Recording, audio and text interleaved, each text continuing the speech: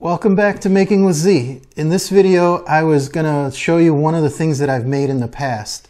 Uh, quite a few years ago, 2007, I decided to do a wind generator slash windmill.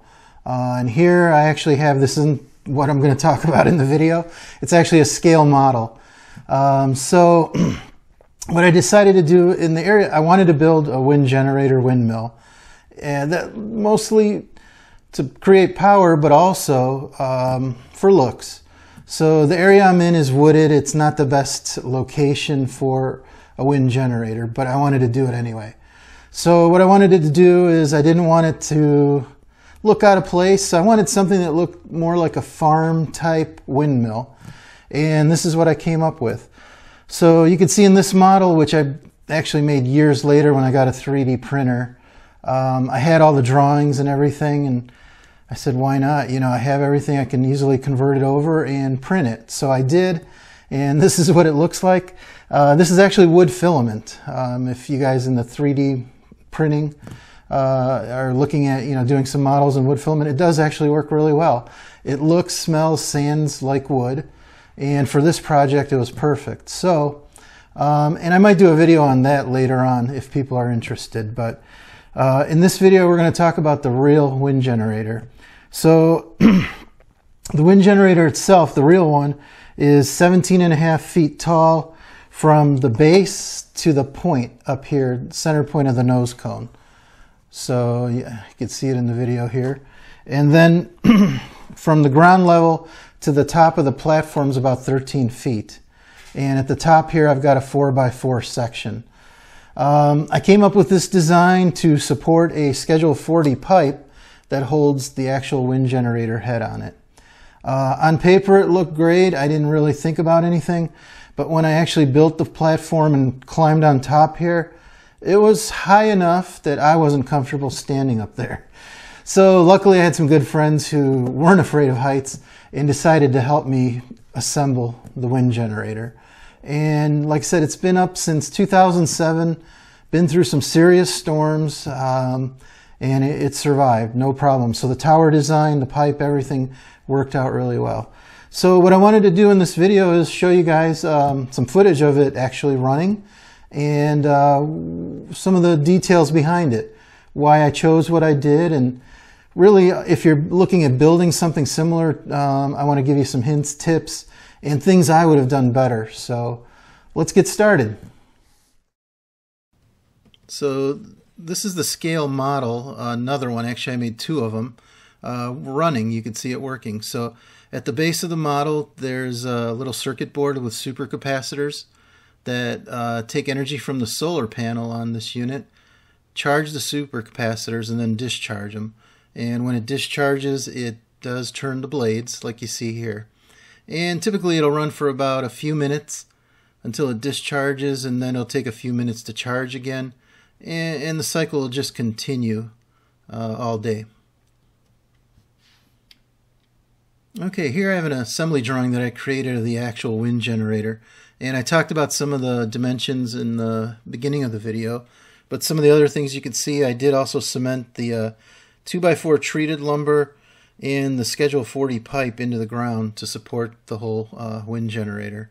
Um, so the main pipe, it's a two and a half inch diameter Schedule 40 pipe, and the rest of the structure is all two by four treated lumber. So here's a section view of the wind generator head. At the bottom, what, what fits into the two and a half inch Schedule 40 pipe is a swivel unit that I made with some brushes in it that allow the windmill to point into the wind and still transmit power uh, to the ground. At the back, there's a permanent magnet alternator. In the middle, and there's an air cylinder. I'll explain that to you. And in the front, there's a disc brake in front of the rotor assembly. So in the actual, we'll take a look at a photo here of an actual photo. So in the front, you can see the blade assembly without the blades. Uh, it's 84 inches in diameter and behind it is the disc brake unit and behind that wall you can see the air cylinder that activates the disc brake and then in the back of the unit uh, there's the permanent magnet alternator which we'll talk about in the video And you can kind of see the pivot assembly, which we'll also show in the video here later, uh, that allows it to turn into the wind, um, but also, you know, transmit the power down to the ground. So in this photo, you can see the center section of the wind generator, and what you're looking at is a rotary union for the air line coming up through the Schedule 40 pipe, uh, and allows to transmit air through the pipe up into the uh, air cylinder that you're looking at. And I'll show you what that air cylinder does, what the function of it uh, is in this design. So in this next photo, you're looking at uh, the wind generator head uh, in the workshop, and I had my daughter there. Uh, what I did for her is I hooked up that radio there that you see on the table, and when you turn these blades at a very slow speed, uh, the radio will actually play. And actually, you don't even have to do a complete uh, revolution. You can actually just turn them partially or turn them even back and forth, and the thing creates power enough to run that radio easily. So that's why I chose the permanent magnet alternator uh, as the you know the way I'm generating the power.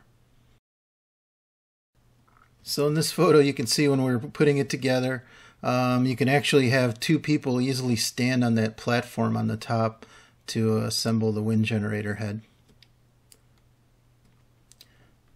Okay, because I'm in the worst spot ever for uh, you know a wind generator, I needed something that was able to run in really low speeds. So a regular car alternator needs high RPMs to generate any kind of usable power. So I had to go to a permanent magnet alternator, which can create a much more power at lower speeds. So this unit that I used is advertised at it'll generate power as low as 60 RPM and its peak performance or not peak but uh, where it's intended to be used is between 400 and 900 RPM.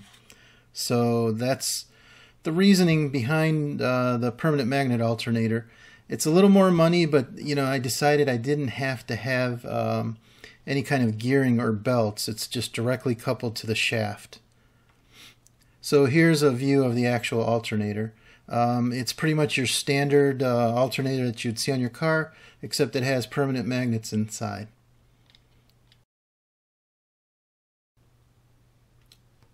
So here you can see the coupling I'm using now. It's the style that has uh, like a wave spring wave washer to couple it.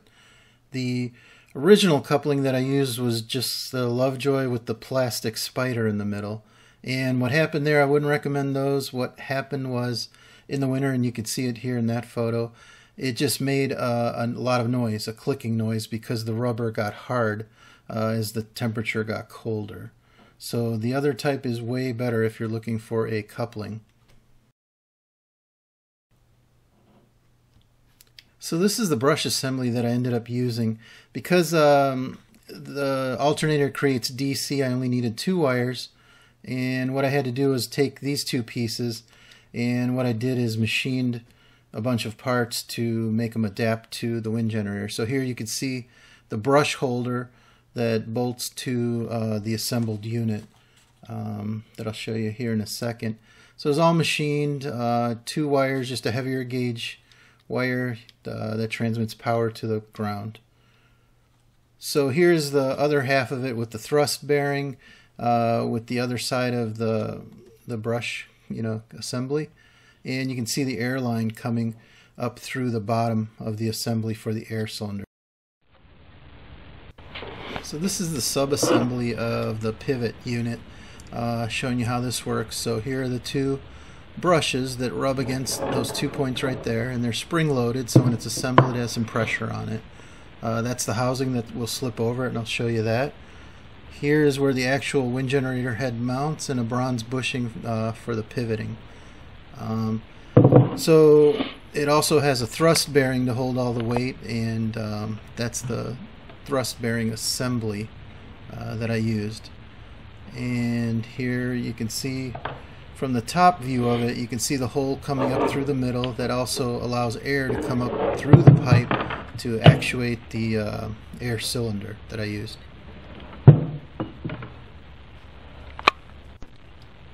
So here's the assembled unit. You can see, you know, the two points uh, showing through the opening here.